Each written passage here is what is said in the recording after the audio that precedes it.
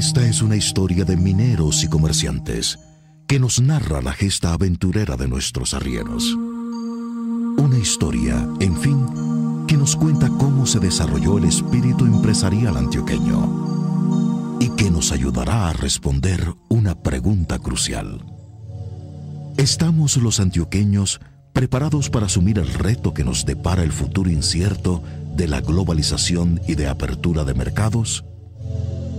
Acompáñenos en este apasionante relato para conocer el espíritu empresarial antioqueño.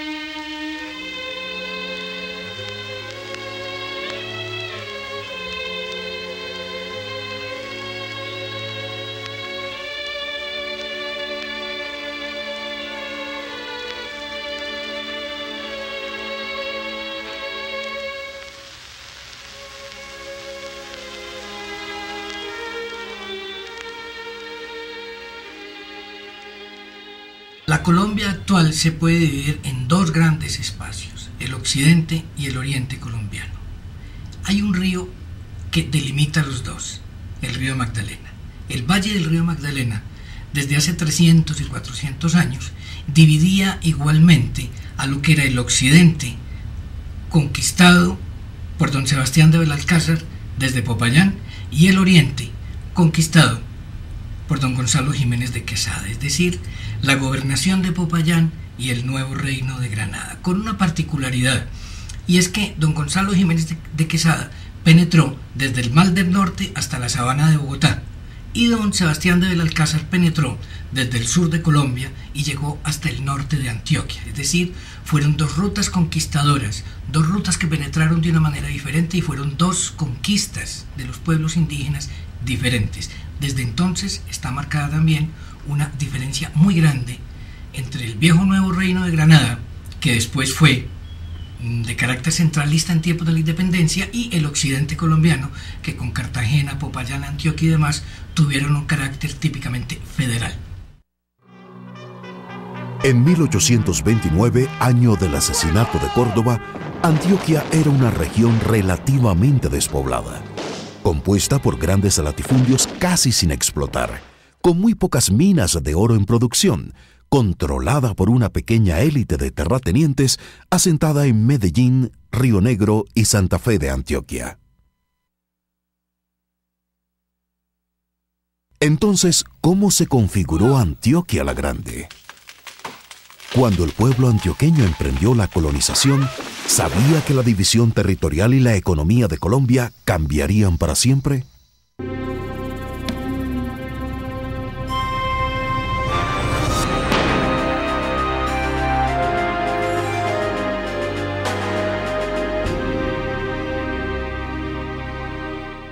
Antioquia, la que conocemos hoy, surgió solamente en el siglo XVIII y para el siglo XVIII estaban claramente diferenciados algunos países, es decir, regiones que se diferenciaban las unas del otro entre nosotros. El país de Río Negro, el país de Santa Fe de Antioquia, el país de Río Negro, el país del Bajo Cauca, etc. Cada uno de estos países tenía sus intereses, cada uno tenía entre sí conflictos con el vecino y de cada uno de ellos partían caminos en busca de distintas regiones para poder establecer relaciones comerciales. Antioquia era una región marginal para Colombia, de tierras pobres, con escasa población indígena. Según el censo de 1808, había solamente 110.000 habitantes. Río Negro, la ciudad más populosa, tenía 10.000 personas y Medellín más o menos 6.000, entre blancos, mestizos, indios, negros y esclavos. En tiempos de la independencia, los antioqueños proclamaron un acto de independencia y por lo tanto se constituyeron en república, así como suena, una república con tres poderes, ejecutivo, legislativo y judicial. No tuvo una capital propiamente, unas veces el gobierno funcionaba en Santa Fe, Antioquia, otras veces funcionaba en Medellín, otras veces funcionaba en Río Negro. Y se hicieron varias constituciones. En Río Negro se reunió una constituyente, en la iglesia de Envigado se reunió otra constituyente, y así por el estilo. La élite terrateniente era un pequeño grupo de blancos que se casaban entre parientes. Don José Manuel Restrepo estaba casado con una hija de don José María Montoya, el hombre más rico de la región y su padre, don José Miguel de Restrepo, ejerció la gobernación de Antioquia. Se turnaban en los cargos más importantes y heredaban las tierras de sus esposas. Los más destacados habían estudiado con los jesuitas en Bogotá, en el Colegio San Bartolomé, y eran amigos desde la infancia. Pero, ¿de qué manera esta élite criolla se hizo a tan grandes extensiones de tierra? Hubo distintas modalidades desde finales del siglo XVIII para acceder a la tierra y para que se diera aquel proceso tan interesante que se conoce en la historia como colonización antioqueña, advirtiendo eso sí que la colonización antioqueña se hizo en todos los sentidos, no es solamente la colonización hacia el sur, la hubo hasta el norte, la hubo hacia el occidente, la hubo el sureste, la hubo el suroeste, y no fue la antioqueña la única colonización en Colombia ha sido la más estudiada. Sin embargo, conviene estudiar otros tipos de colonización en otras regiones de lo que hoy llamamos Colombia.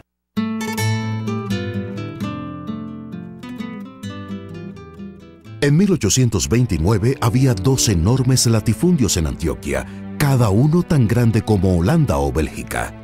Uno de ellos pertenecía a don Felipe Villegas, quien vivía en Río Negro y era dueño de todas las tierras que rodean La Ceja, el Retiro, Abejorral, Sonsón, casi hasta Mariquita.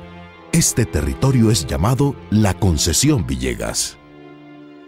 Don Felipe Villegas y Córdoba, un español establecido en el, en el Llano Grande, sobre pretexto de unas minas en el río Wey, obtuvo una enorme concesión de tierras entre los ríos Arma y Wey, en donde después se fundaron poblaciones como Mesopotamia, Abejorral, y Sonsón.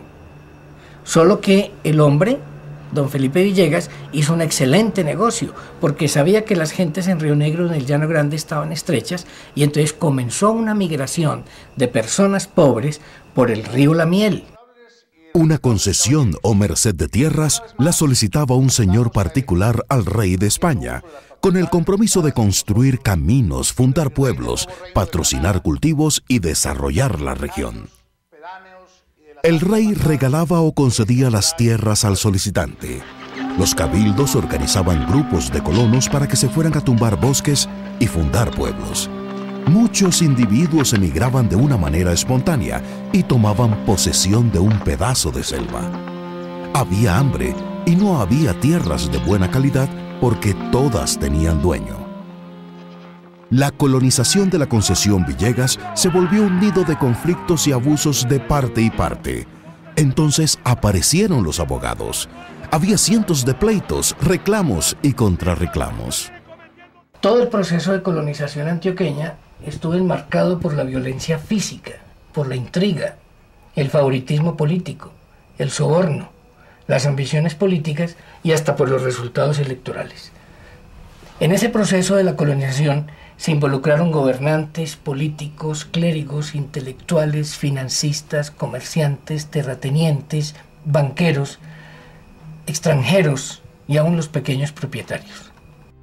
Ante la posibilidad de valorización aparecieron dueños de la selva por todas partes Toda tierra resultaba con un dueño que exigía que el colono le comprara bajo la amenaza de expulsión por la policía.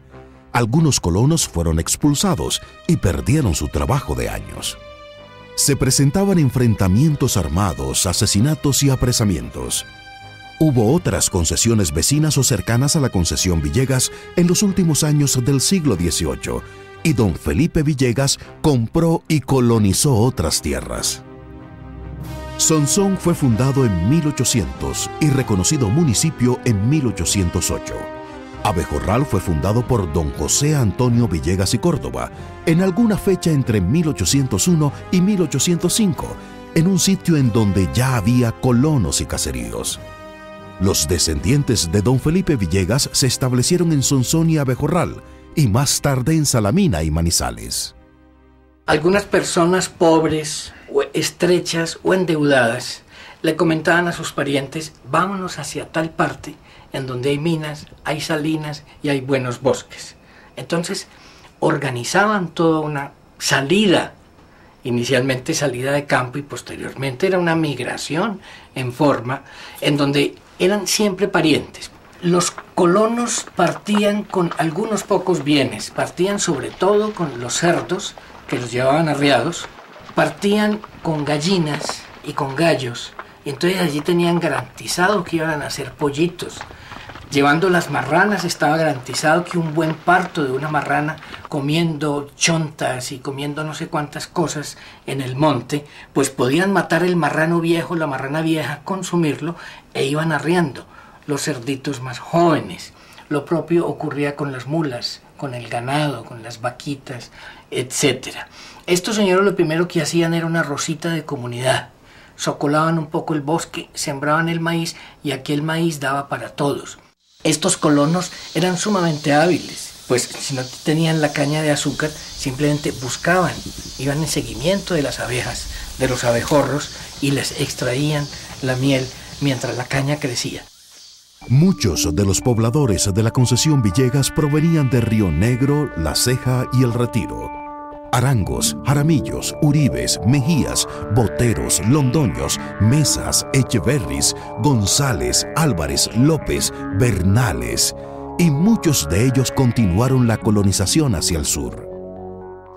A las zonas de colonización eh, inicialmente llegaban hombres eh, solos, ellos iniciaban el desmonte de los bosques eh, y ya cuando tenían una, apertura o cuando tenían un espacio, eh, tenían la posibilidad ya de llevarse a sus familias. Pero inicialmente se iban solamente los hombres con sus hijos mayores, incluso ya adultos que podrían eh, enfrentar con más facilidad las, adversidades y la hostilidad de, estos espacios.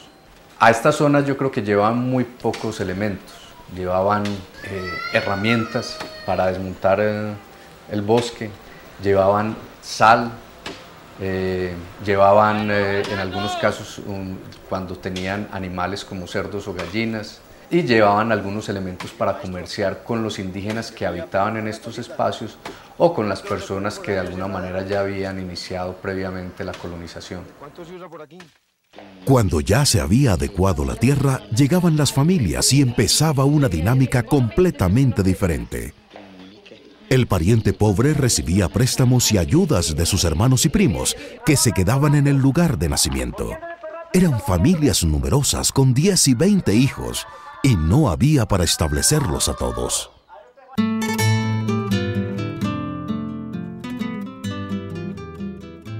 Entre 1780 y 1790, el comerciante español don José María Aranzazu y su padre, radicados en Mariquita, empezaron a proyectar un camino que fuera de Mariquita a Supía y que llegara a Río Negro, siguiendo la ruta por donde ellos comerciaban con mercancías traídas de Cuba y Jamaica en un barco de su propiedad.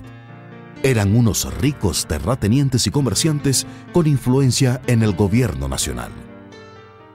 Por medios, unos legales y otros dudosos, empezaron a hablar de una enorme concesión que iba de Arma hasta Cartago, 800 kilómetros de subidas y bajadas, de vueltas y reviravueltas hacia el sur, y 400 kilómetros de anchura. Un verdadero país, el doble de grande que la concesión Villegas. Aranzazu no quiso figurar en los papeles y puso como dueño a la compañía González Salazar para vender los derechos y cobrar los pagos.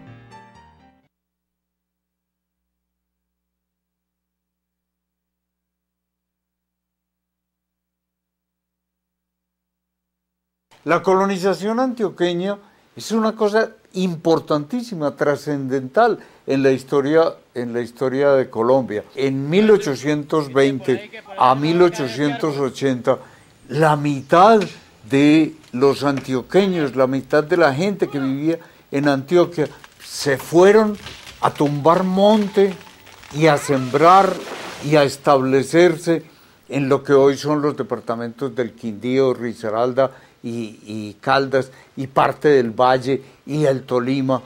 O sea, hubo una tremenda migración. Se, se fueron, armaron sus corotos y se fueron a establecerse por allá en medio de miles de problemas que vamos a explicar. Entonces, si usted mira un mapa y eh, hacia el norte está Medellín, están las dos cordilleras, la cordillera central y la cordillera occidental. Y en medio de las dos va el río Cauca. El movimiento de gente fue por esas cordilleras hacia abajo, hacia el sur. Entonces por la cordillera central pues salieron del retiro, de Sonsón, de Abejorral, fundaron a Sonsón y fundaron a Abejorral y fueron bajando por eh, Salamina, Neira, Manizales, eh, llegaron a Pereira, que ya estaba fundada, pero era un caserío, eh, Armenia y todo ese Quindío. Y por la otra cordillera, por la cordillera occidental, entonces otra rama, otra procesión de gente fue bajando por eh, Fredonia, Jericó, Andes, Jardín, Río Sucio, y fueron pasando hasta llegar a Sevilla, en, el valle, y hasta llegar a Restrepo, que queda a, 30 kilómetros de Cali, pero por la cordillera. Ellos no se establecieron en el valle del río Cauca, que era tierra caliente. Ellos iban buscando por las cordilleras, iban buscando temperaturas medias de 20 grados centígrados para sembrar lo que sabían sembrar y cosechar lo que sabían cosechar y para vivir en un clima que les gustaba. Entonces no se bajaron a cultivar cosas en las tierras calientes de las puras orillas del río Cauca, pero se fueron siguiendo. Entonces, si usted está en esa posición, usted ve bajar dos ríos humanos por esas dos cordilleras a los lados del río Cauca.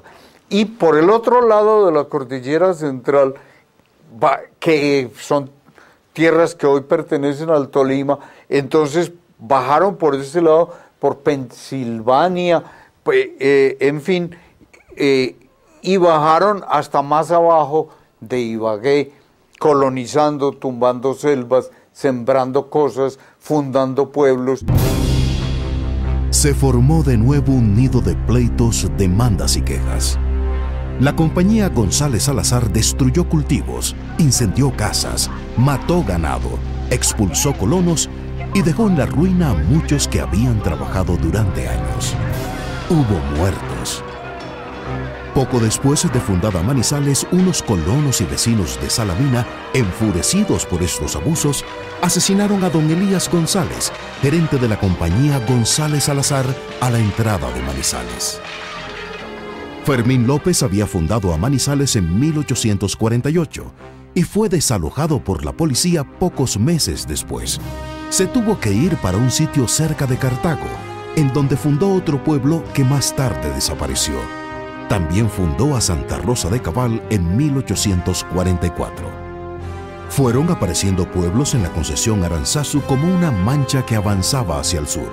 Salamina en 1825 Neira 1843, Manizales 1848, Chinchiná 1848, Anserma 1872, Finlandia 1878, Armenia 1889, Circasia ese mismo año, Montenegro 1892, y en el Valle, Sevilla en 1903, Caicedonia en 1905 y Trujillo en 1924, por toda la cordillera central, en sus laderas occidentales paralelas al río Cauca.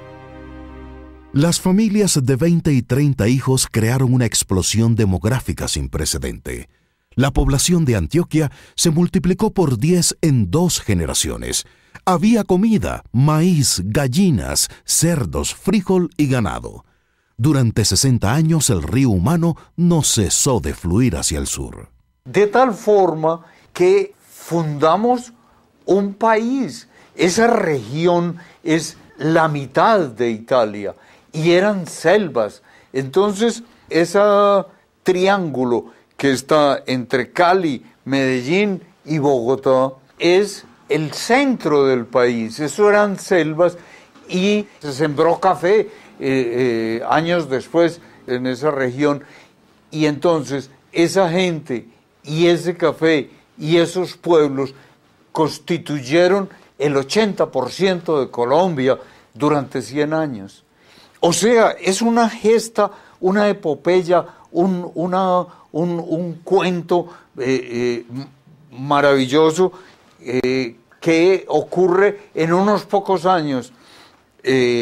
La, la, principal oleada entre 1820 y 1880 y fundamos Colombia. Eso fue el 80% de Colombia eh, durante 100 años. Es una cosa importante para Colombia. Eso no es un cuentecito romántico de los antioqueños. Eso, eso es la creación de la riqueza colombiana y de las costumbres colombianas y del pueblo colombiano durante, eh, durante 100 años. Entonces, dijimos, la mitad de, de la gente de Antioquia se fue buscando buscando tierras hacia el sur. Se fueron porque había hambre, porque, porque no había posibilidades, porque eran familias muy numerosas. La familia eh, menos numerosa tenía fácilmente 10 hijos. Uno de estos viajeros que recorrieron en el siglo XIX, en 1850 por allá, eh, recorrieron la región Dice que encontraron una señora, un señor y una señora, creo que fue en, Salamina, que tenían 32 hijos del mismo señor y la misma señora, todos los 32 con sus hijos, con sus propios hijos, o sea, con los nietos, o sea que eso, quién sabe, era una familia de 100 personas del mismo señor y la misma señora. El gobierno de Bogotá creó leyes para proteger a los colonos. Se reconocían parcelas hasta de 10 hectáreas a quienes las estuvieran trabajando. Se prefería a los veteranos de las guerras de la independencia o a sus hijos. Se proyectaron caminos financiados con dinero del Estado. Se reconocieron municipios y se nombraron autoridades y jueces. Se trató de reconocer una realidad que ya estaba allí desde hacía muchos años. Pero la colonización antioqueña no fue un proyecto ideado o dirigido desde Bogotá por el gobierno nacional, como después pretendieron afirmar algunos historiadores bogotanizados. No se crearon primero los caminos desde Bogotá y después aparecieron los antioqueños. Fue exactamente al revés todavía es el corazón de Colombia y que ha educado a Colombia y que produjo la riqueza con la cual se hizo todo Colombia durante 100 años. Entonces, ese viajar, ese tumbar esos árboles, ese fundar ese país, eso hay que contarlo, eso hay que enseñarlo, eso, eso lo tiene que aprender cada colombiano y eso hay que contarlo en, eh, de miles de maneras. Eso hay que escribir 100 novelas, porque lo que importa es la historia de la gente. Hay muchos libros, eso está completamente documentado. Ah, hay eh, eh, muchos libros en donde científicamente se ha estudiado qué fue lo que pasó en una cosa y en otra.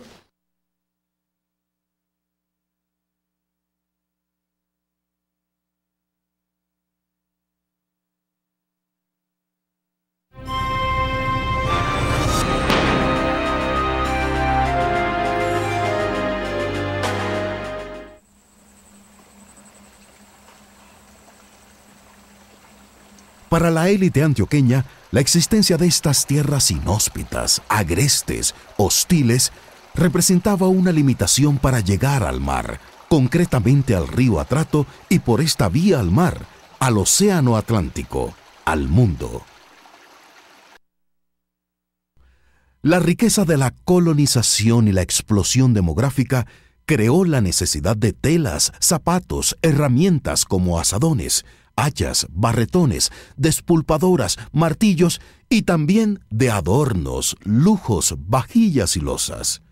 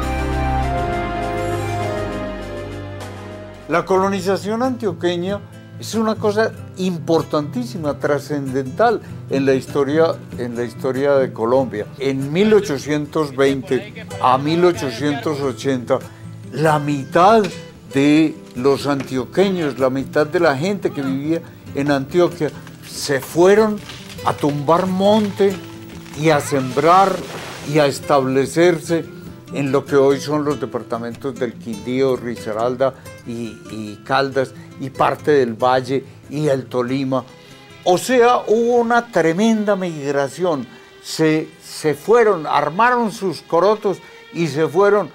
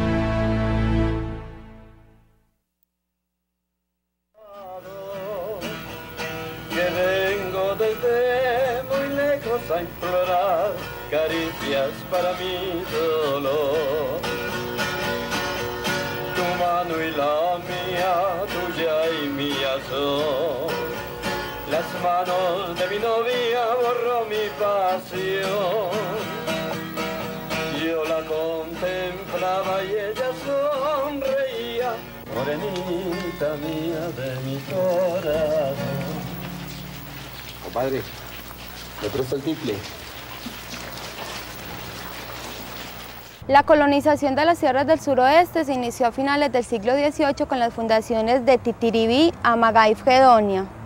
La fundación de Titiribí se dio más o menos en, el año 1775, la de Amagá en 1788 y la de Fredonia en 1790.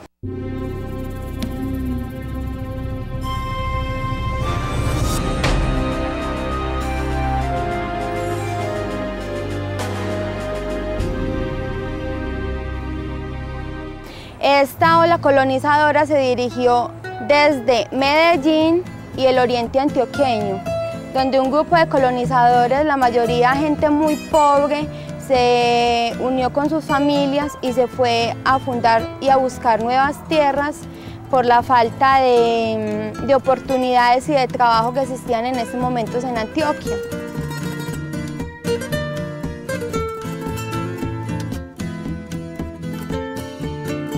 Era un territorio al suroeste de Medellín, que hoy componen los municipios de Venecia, Titiribí, Bolombolo, Bolívar, Salgar, Jericó, Támesis, Andes, Jardín, Concordia y muchos más.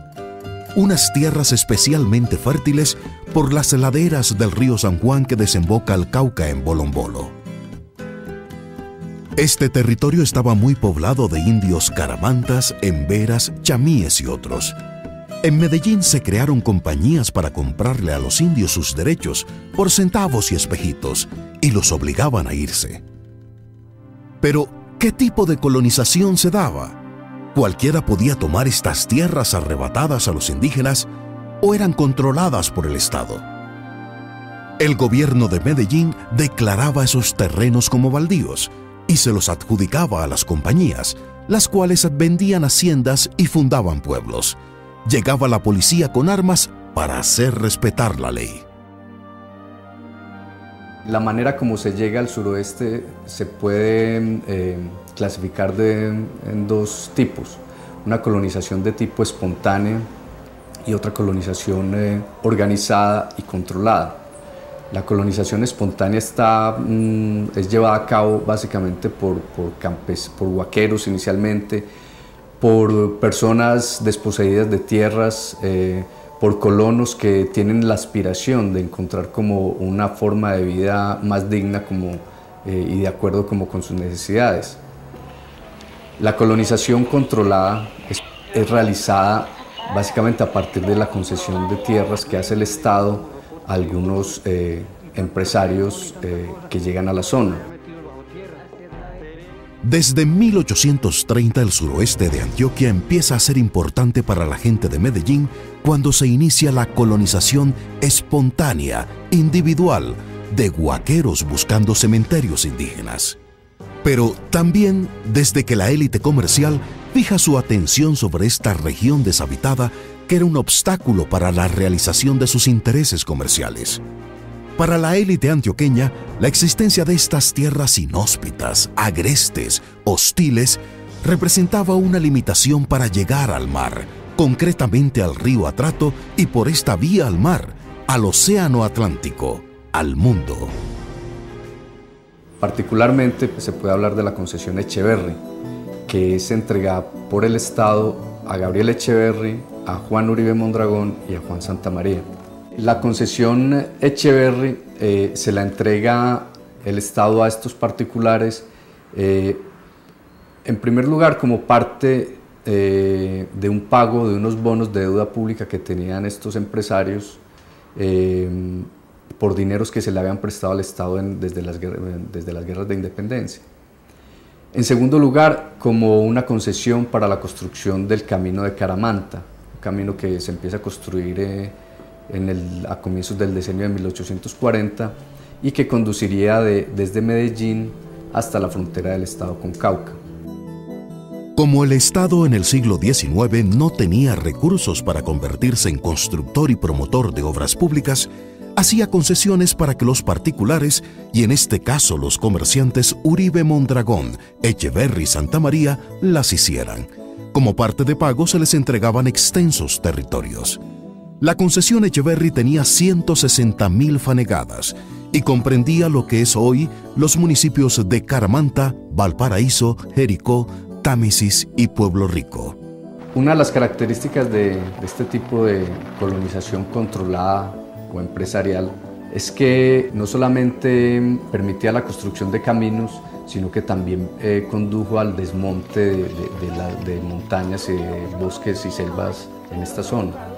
La manera como se hizo esto fue a través de colonos, es decir, los, propietarios de estas tierras, los nuevos propietarios de estas tierras, eh, contrataban a colonos para que construyeran los caminos y al mismo tiempo a ellos les cedían espacios para que los fueran desmontando. Ahora, la forma como cada uno de estos contratos se realizó difiere y en algunos casos permitía que el colono se quedara con las tierras y en otros simplemente era como un tránsito para ir a colonizar otras.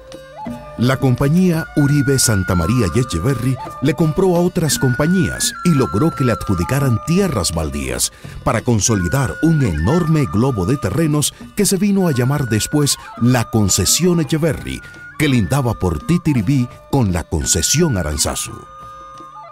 Los colonos encontraban oro y huacas. Desde la colonia explotaban las minas de Marmato y de la quebrada Sinifaná.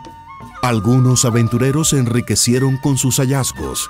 Apareció una especie de fiebre de oro y de colonización. Miles de personas cargaron sus mulas y se fueron.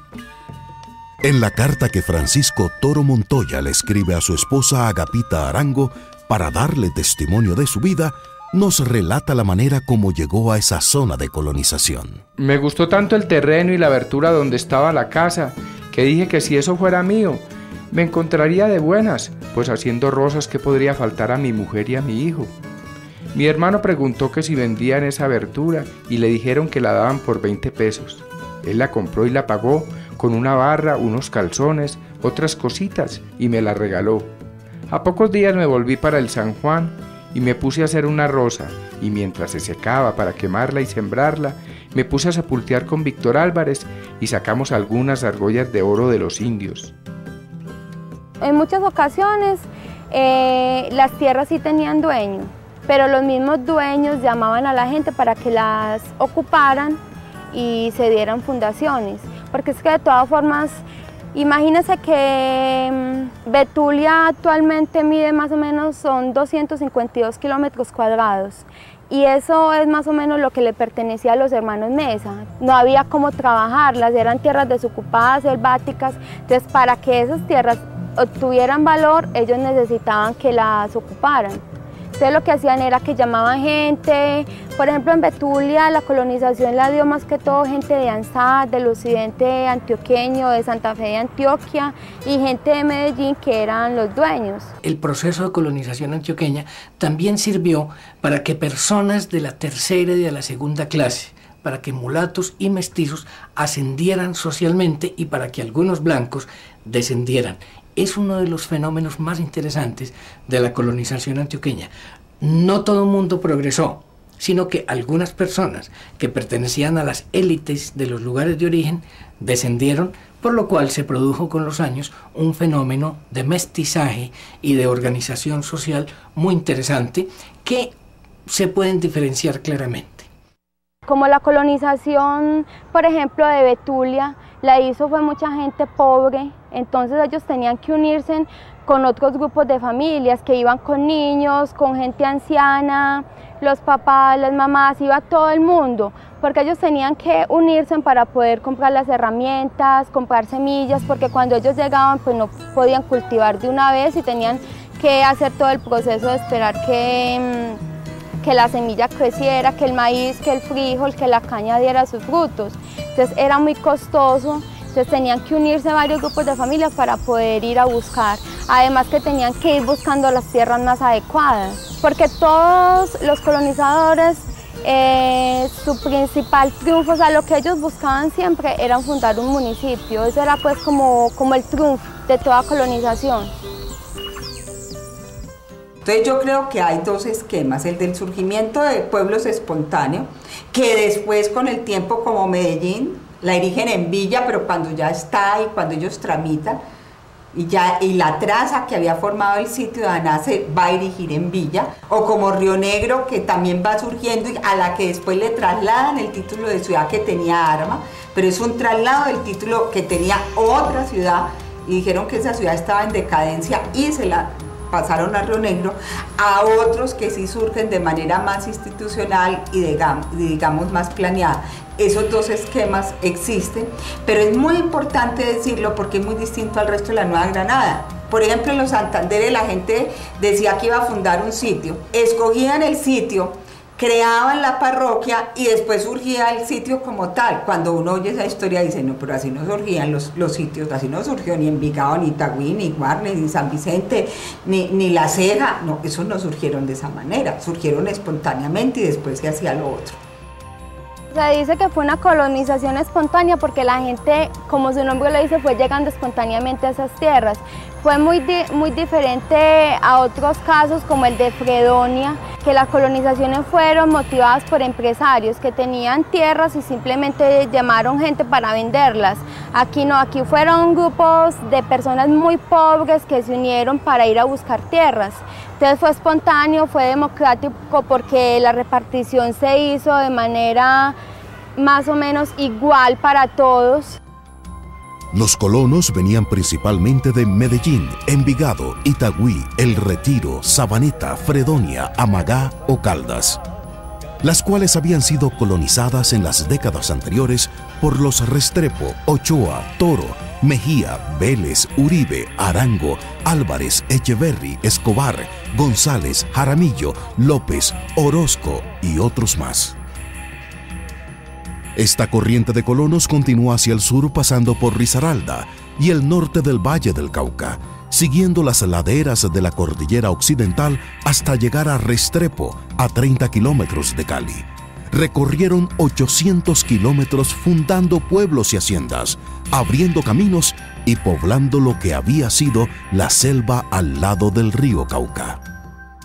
Los que iban dirigiendo la colonización el de la colonizadora como los, líderes pues. Entonces ellos nombraban la junta repartidora. Esta junta repartidora era la que, era la que se encargaba de, repartirle a las personas el lugar. Por lo general se nombraba el alcalde y ya se hacía la petición ante el, ante el gobierno departamental que se nombrara un agrimensor. El gobierno departamental lo nombraba y los mismos colonos lo pagaban. Entonces ya este señor llegaba al lugar pues donde se iba a hacer la fundación y le repartía a cada colono según el, número de familias y la importancia que tuviera en la, en la colonización, le repartía entre 32 y 150 hectáreas. O sea, se les daba un lugar para la vivienda, para que tuvieran un patio y para que tuvieran una parcela donde pudieran cultivar.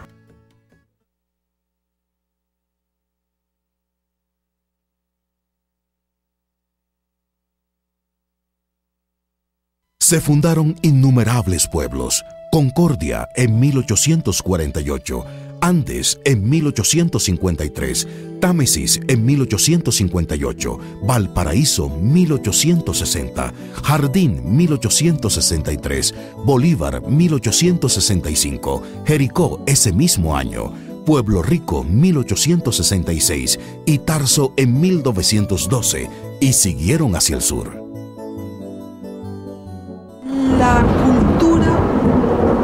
Antioqueña quiere fundamentarse y expandirse sobre la base de hacer familias muy fuertes, de hacer clanes. Y el pilar de esos clanes va a ser la mujer madre. Es una mujer fabricada como la dama del esposo y como la matrona de de una serie de personas que van a responder por la permanencia del proyecto ético y del proyecto económico del clan. A esa mujer madre se le llena de atributos muy parecidos a lo que creen que es la Virgen María. Entonces la mujer madre está dispuesta a recibirlo todo, es una receptora es una receptora de alegrías, de tristezas, de maltratos, de negaciones, pero jamás es una emisora. La mujer madre es una preservadora. La mujer madre debe cuidar el hogar, debe garantizar que la vida cotidiana funcione, es responsable de la ternura, de la dulzura, de la generación de amor la mujer madre es la garante de una moralidad sugerida que impone la negación del placer, la moralidad de esa, Antioquia tradicional se basa en el rechazo al placer. Hay quienes dicen que eso está atado a la tradición judaica y a la, y a la influencia de lo judaico en la cultura antioqueña esa mujer madre es una mujer de la casa. Y esa mujer de la casa no tiene nada que hacer en la vida pública distinto a ir a la iglesia, que es una extensión de la casa. La vida en los pueblos entonces estaba jalonada en buena parte por esa relación entre de la gente con la religiosidad, que era una relación muy, muy vívida, muy sentida. Y pues eh, el cura, el cura párroco, era un personaje fundamental en la vida de esos pueblos. Y los grupos de colonizadores iban siempre con curas. Entonces, así como iba el perro, como iban eh, mujeres, iban también sacerdotes. Y obviamente en los lugares donde se establecía el poblamiento, pues el sacerdote decía la primera misa y se empezaban a dar los primeros pasos para la constitución de una parroquia. La gente en sus convicciones religiosas que eran venían desde sus ancestros, también quería que, que les aplicaran los sacramentos y que todas estas ceremonias que jalonaban la vida del individuo desde el nacimiento hasta su muerte fueran, eh, digámoslo así, dirigidas por la Iglesia. La religiosidad popular católica logra marcar los ciclos de la naturaleza, el ciclo de las siembras, el ciclo de las cosechas, el ciclo de la sequía. Entonces, en una sociedad campesina, en una sociedad premoderna, eso era muy importante para dar seguridad al campesino sobre el éxito o fracaso de sus cultivos, de sus animales, etc.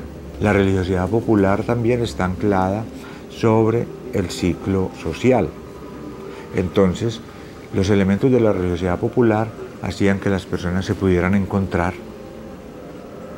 una fiesta, un bautismo, un entierro especialmente, eran oportunidades para reforzar los lazos sociales de la comunidad.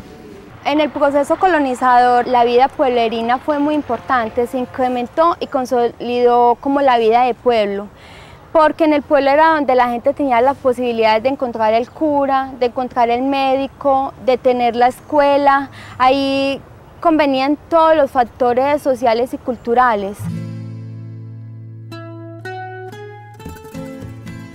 Casi 100 años se creó un país de 800 kilómetros de largo por 400 de anchura, más grande que la mitad de Francia, el rectángulo que hay entre Medellín, Cali y Bogotá. Eran unas selvas profundas, sin caminos y sin pueblos, y allí apareció un país próspero y moderno.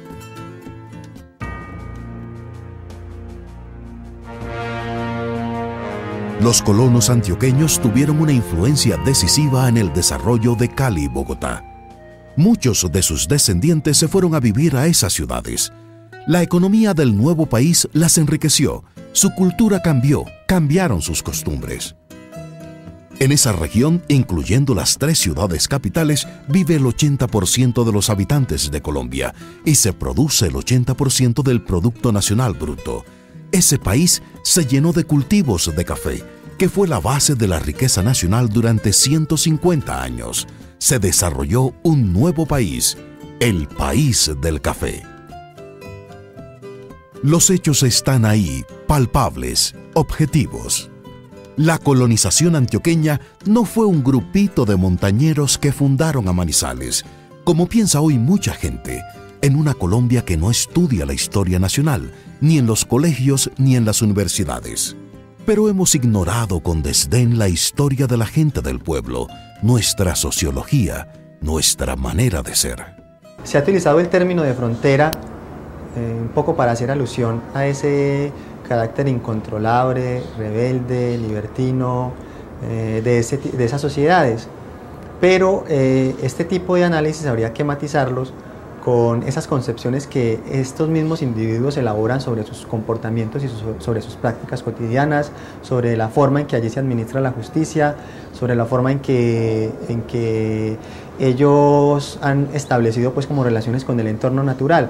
¿Por qué? Porque es fronteras para las gentes que lo ven de fuera, pero para ellos hace parte de su vida cotidiana, de su diario acontecer, hace parte pues como de esos órdenes que ellos mismos han establecido y que tienen plena funcionalidad, hacen parte de su diario, de su diario vivir.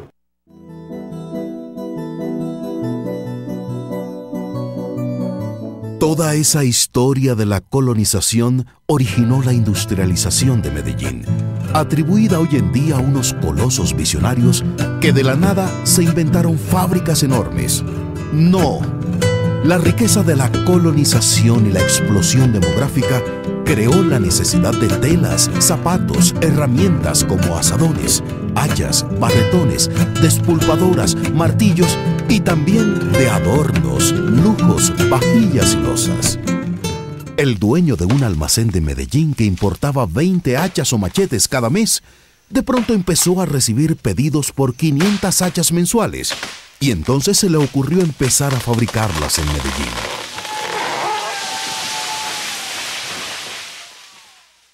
En la ciudad había ingenieros ingleses traídos para las minas de oro. Alejandro Johnson, Juan H. White, Tyrell Moore, Carlos de Grave, Edward Walker y muchos más, quienes se casaron con muchachas antioqueñas y son troncos de familias paisas estaba todo, el mercado, la riqueza, los ingenieros, los trabajadores disciplinados, el capital, la organización de vendedores viajeros que surtían los almacenes de los pueblitos. Surgieron fábricas de textiles, talleres para trabajar el hierro, fábricas de loza. El milagro de la industrialización de Medellín no fueron las grandes empresas que se crearon a partir de 1920. No, fueron las empresas pequeñas y medianas del siglo XIX que surgieron como fruto de los mercados que creó la colonización antioqueña del sur, el país del café.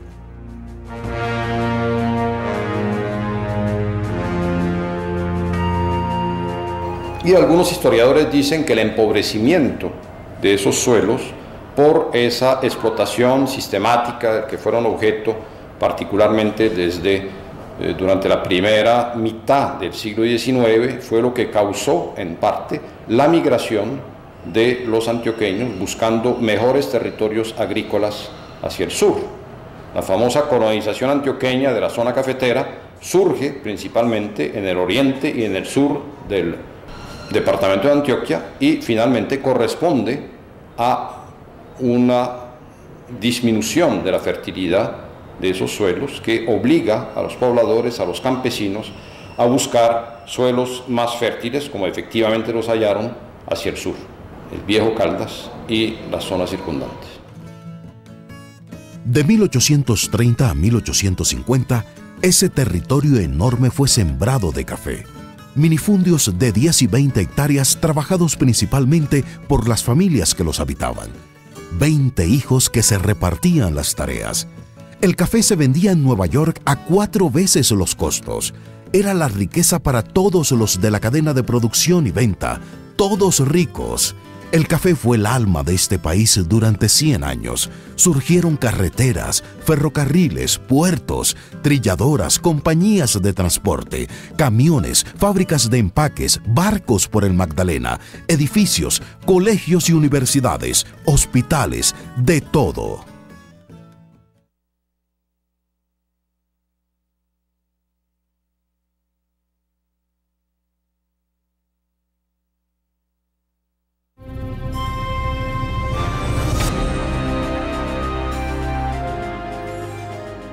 El mito de la colonización antioqueña, como todas las cosas que hacen los antioqueños, se deriva del hecho no de que fuera muy importante en sí mismo, sino de que fue muy bien promocionado. Ha habido movimientos de población inmensos al interior del país cuyas dimensiones no han sido estudiadas ni promocionadas por nadie. La fundación de barrios en las ciudades recuerda en nuestra época a la fundación de pueblos. Sus pobladores regresan muchas generaciones después, desplazados por la violencia, a los lugares de donde partieron sus antepasados.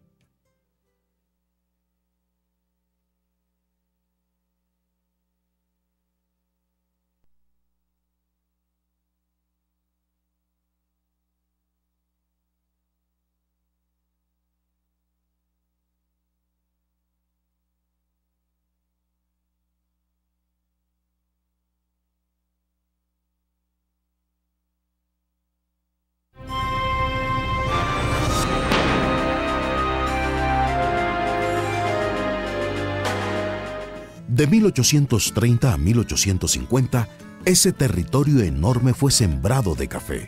Minifundios de 10 y 20 hectáreas trabajados principalmente por las familias que los habitaban. 20 hijos que se repartían las tareas.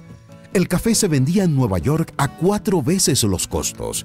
Era la riqueza para todos los de la cadena de producción y venta, todos ricos.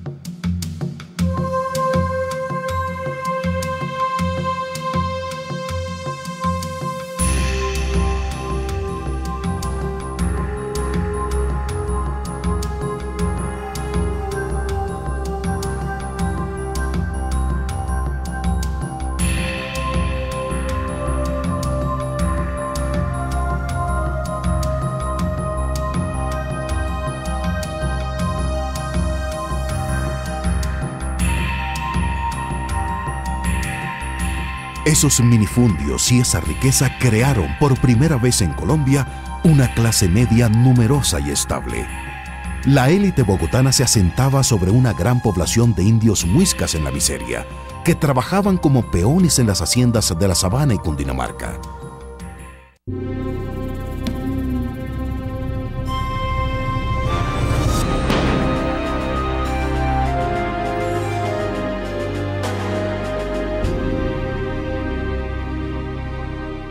Empezaron a llegar unos paisas con plata que citaban a Virgilio en latín y a Homero en griego.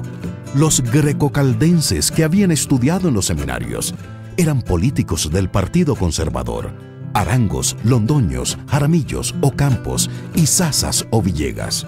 Toda una migración de miles de personas que cambió a Bogotá para siempre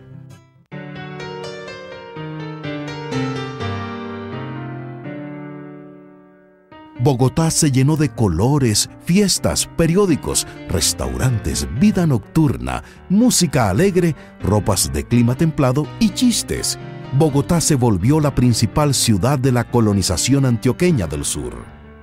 Simultáneamente, Bogotá se industrializó cuando los empresarios de Medellín fundaron copias de sus empresas en la capital. En 1970, Bogotá tenía más industrias que Medellín y una clase media que era el corazón de la economía nacional.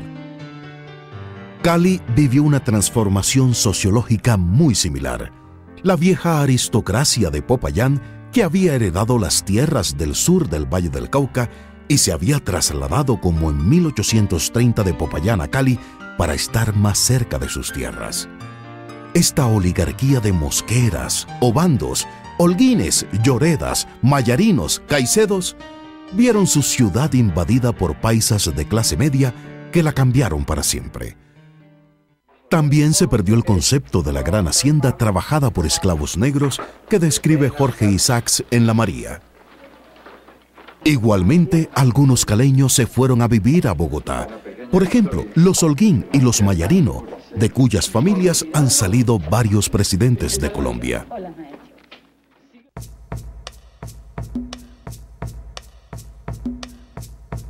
El mito de la colonización antioqueña, como todas las cosas que hacen los antioqueños, se deriva del hecho no de que fuera muy importante en sí mismo, sino de que fue muy bien promocionado.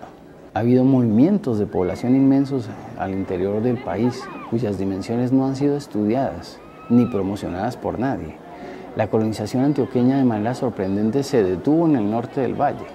Colonizó en realidad un territorio pequeño, ni siquiera penetró en las selvas del Chocó, por lo menos no seriamente. Y esta colonización inconsciente, no planeada, muchas veces produjo daños y devastación. Es decir, la colonización antioqueña, por ejemplo, era implacable con la madera y tumbando monte y tumbando selva. La colonización antioqueña cometió muchos errores, pasó por encima de muchas cosas sin darse cuenta. Eh, es decir, no puede ser considerada como un experimento de progreso únicamente, sino que tuvo también aspectos negativos. Y no es la única colonización importante en Colombia. La imagen idealizada de la colonización antioqueña tiene una contraparte, y es una contraparte que no podemos ignorar y mucho menos olvidar, y es la, y es la que corresponde a, la, a esa colonización que también generó conflictos que de alguna manera eh, se realizó mediante actos de violencia contra otras personas. Esta colonización también afectó a, muchas, eh, a muchas comunidades locales, a muchos colonos, a muchos campesinos que eh, se, se, vieron expropiados por un flujo migratorio. Los mitos que surgieron por la colonización antioqueña han perjudicado mucho la verdad de la historia. El antioqueño superior, la raza superior, el antioqueño que sabe de todo, el antioqueño que siempre triunfa, el romanticismo sobre el hacha de mis mayores. Pero los historiadores de hoy han llegado al otro extremo hasta el punto en donde se borra todo, lo bueno y lo malo, y se niegan todos los valores de la cultura paisa y toda su historia. De un extremo del mito, nos hemos ido al otro extremo de la negación de todo. Para algunos, da lo mismo la historia de la colonización del sur que la fundación de Yarumal. El mito antioqueño ha sido reemplazado por otros mitos de cinismo sobre toda la historia de nuestro pueblo sin valores, sin personajes, sin nada que aprender. La negación de la construcción de una sociedad, la negación de entender lo que pasó como experiencia para el futuro. El mito fundacional antioqueño es el del siglo XIX. Aquí no hay mito indígena. Pues todo el mito fundacional de lo que es Antioquia es de finales de la colonia y de principios del siglo XIX, con la independencia. Antes no, no, hay, un, no hay una historia pero es muy temprana la, idea del antioqueño, ¿no? Se empieza a hablar de los antioqueños, cuando para ese momento de la independencia lo que había era localidades, Río Negro, Medellín, Santa Fe, Antioquia. en cambio ya empiezan a hablar de los antioqueños. La gente de la colonización del sur tenía una cultura propia, tenía una literatura, una comida propia, una arquitectura, unos valores superiores, una idea de gobierno, unos mitos, unas creencias, una manera de vivir muy particular. En la cultura hay niveles y estratos. No todo es lo mismo.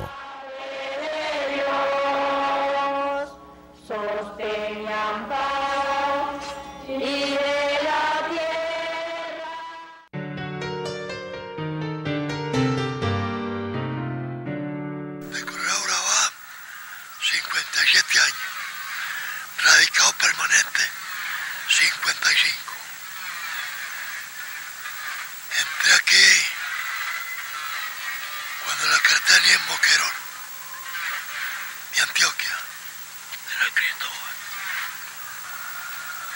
Yo fui contratado por el, por el famoso Go Gómez, gran contrabandista, buen patrón, buen amigo.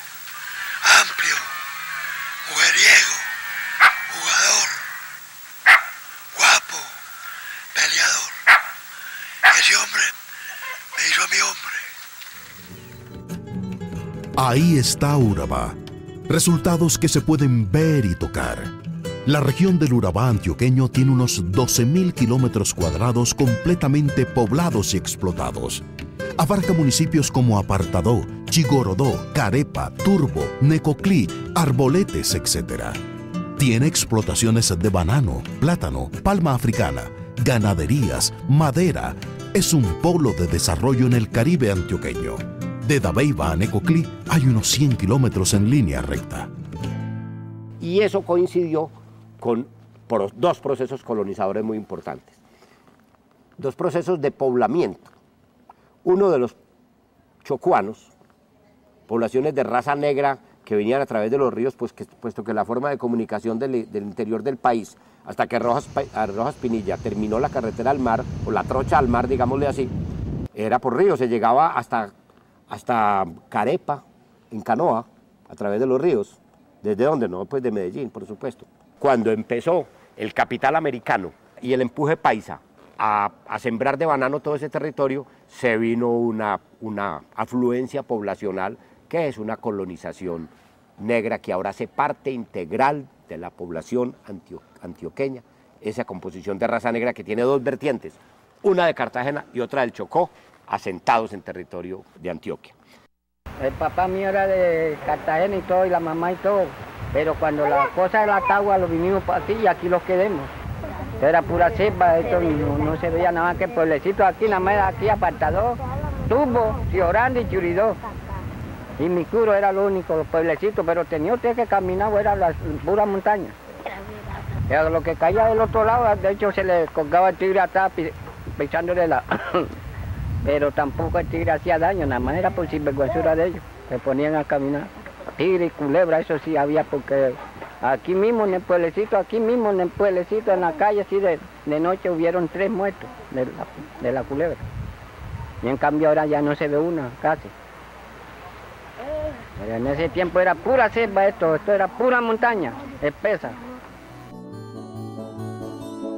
En la región de Urabá hay fábricas de cartón, hospitales, aeropuertos, carreteras pavimentadas. Más o menos 500.000 habitantes. Apartadó tiene más de 100.000 y toda clase de negocios y servicios.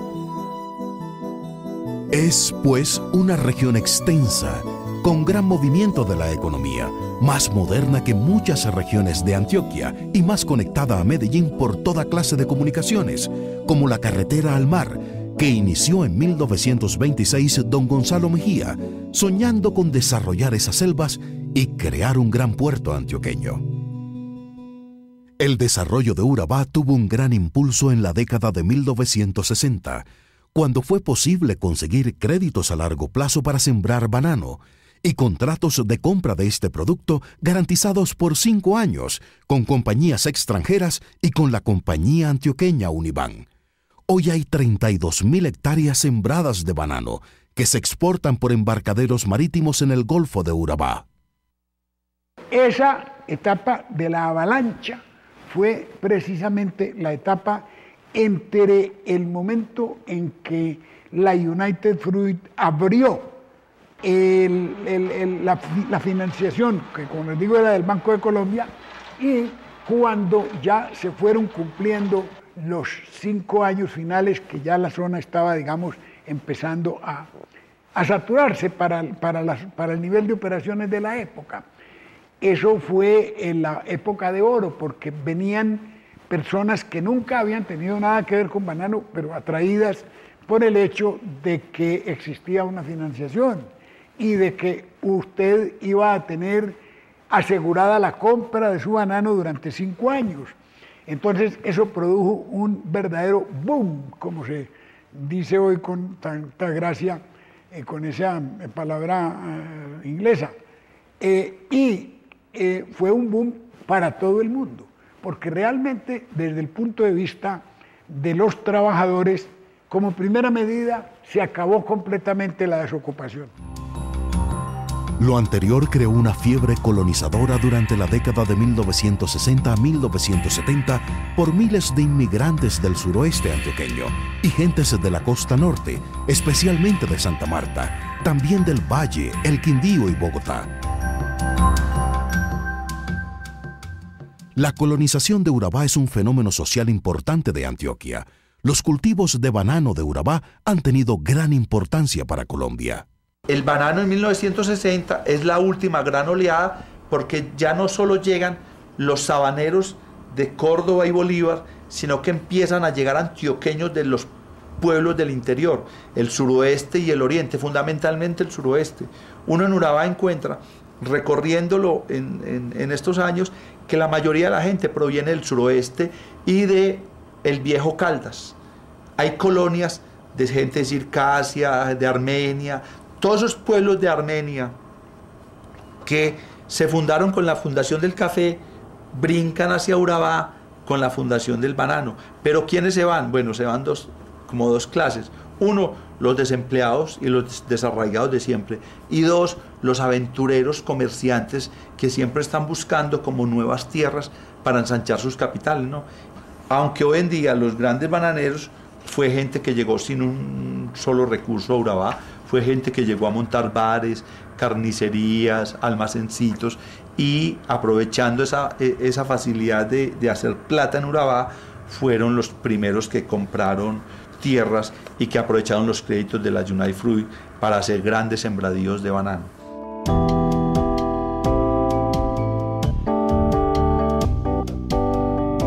No hay que confundir la colonización del sur con otros movimientos de poblamiento del territorio antioqueño. En el siglo XVIII ocurrieron migraciones hacia Segovia, Cáceres y Caucasia, hacia Yarumal y Santa Rosa de Osos, hacia Urrao, Ebéjico y Heliconia. Pero fueron pequeños desplazamientos, sin consecuencias para Colombia, ni para la cultura, ni para la economía, ni para la sociedad colombiana.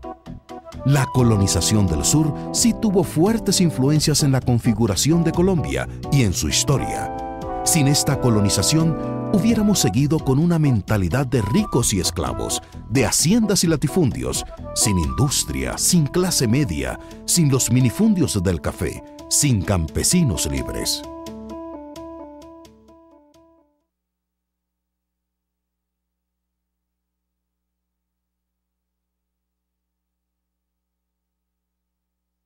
La historia de Antioquia es la historia de un aislamiento, es decir, durante 300 años Antioquia figuró como una región aislada y perdida entre montañas, en donde el rígido paradigma patriarcal de familias casi hebreas mantuvo solamente vivas la religión católica, y eso que en algunos aspectos disminuida o simplificada, y la lengua española, la lengua española como paradigma instrumental de la cultura, básicamente austera, montañera, eh, en muchísimos aspectos autosuficiente, se componía por una serie de clanes y de grandes familias cuyas variaciones a través del tiempo eran mínimas.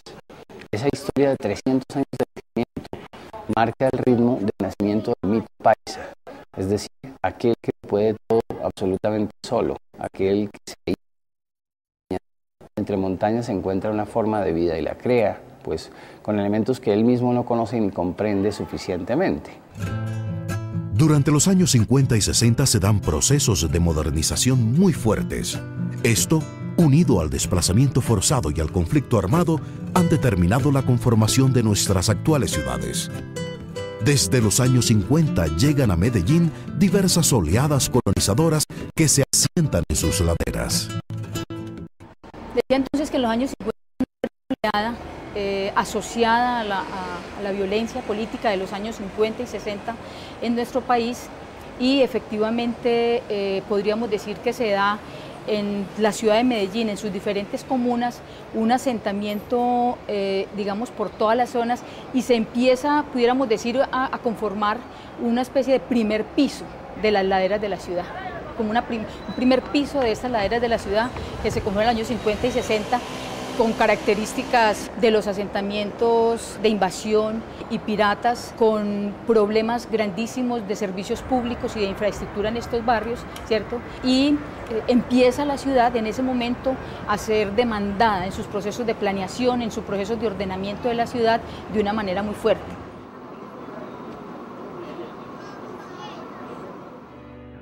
En esa primera gran oleada de la colonización urbana de los años 50 y 60 se fundan barrios muy significativos para la ciudad, como Santo Domingo Sabio, Los Populares, El Picacho y Picachito. Entre 1992 y 1995 se configuran los primeros asentamientos de población desplazada. A Medellín llega una oleada colonizadora de campesinos que han tenido que abandonar sus tierras. Y está asociado eso, por supuesto, a, la existencia de conflicto en algunas regiones del mismo departamento de Antioquia, regiones como el Magdalena Medio, el Bajo Cauca y Nordeste. Entonces uno podría decir que entre el 92 y el 95 llegan, empiezan a llegar eh, poblaciones de estas regiones a la ciudad de Medellín. Esa es una característica de Antioquia. Empieza a llegar a la ciudad una cantidad de población impresionante. Estamos hablando que en este periodo se conforman 19 nuevos asentamientos de población que en la ciudad. O sea, está dando ya una idea de cómo, de cómo se está planteando la conformación de la ciudad, cómo vuelven a localizarse en las mismas, en los mismos lugares críticos que digamos la ciudad tiene desde los años 50 y 60. Entre 1999 y 2005 se han creado 52 asentamientos de población desplazada que seguramente van a ser futuros barrios de la ciudad. La población de Antioquia está en eh, aproximadamente 4.500.000. En Medellín eh, existen más o menos, en la, última proyección que se hace, 2.100.000 habitantes, pero sumando el área metropolitana de Medellín, eh, podemos dar 3 millones aproximadamente. Esto quiere decir que por ahí el 70% de la población de Antioquia, yo creo que vamos hacia un 75%, efectivamente está en el área metropolitana de la ciudad. Y aquí hablamos un poco de Medellín. Otra cosa es este mismo proceso de desplazamiento y de colonización urbana en todos los municipios del Valle de Aburrá, que eso también lo hemos estado trabajando. Hubo un trabajo de tesis de una estudiante que alcanzó a mirar los cinco municipios y efectivamente ahí de colonización urbana como los de la ciudad de Medellín, asentamientos nucleados en Bello y en Itagú principalmente, ¿cierto? Pero igual eh, población desplazada en, muchos municipios del área metropolitana. La fundación de barrios en las ciudades recuerda en nuestra época a la fundación de pueblos. Sus pobladores regresan muchas generaciones después, desplazados por la violencia, a los lugares de donde La antioqueña del sur no fue un movimiento común de poblamiento de un territorio, de los que ocurren en todos los países. Para entenderlo, habría que entender la colonización del sur de África por ingleses y alemanes, o la conquista del oeste norteamericano con todas sus consecuencias económicas, políticas y sociales, o el éxodo de Israel desde Egipto hacia las tierras de Palestina y la formación de una nueva nación.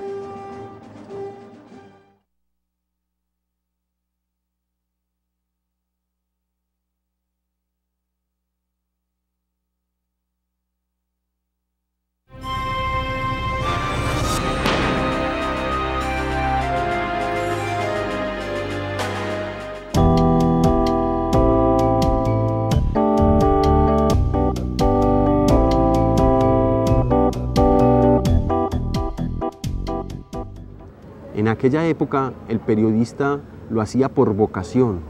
El periodista se concebía a sí mismo como un apóstol. El periodismo era todo un sacerdocio.